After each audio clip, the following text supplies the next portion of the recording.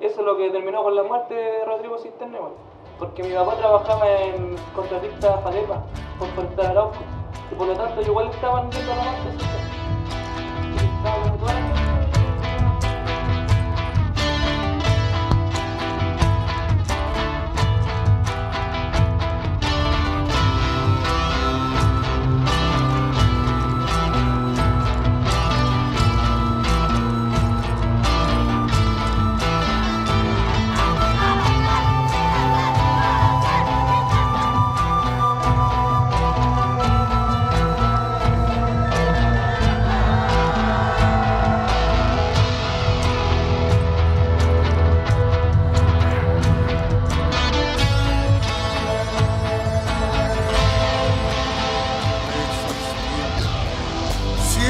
resistiendo al español por más de 500 años.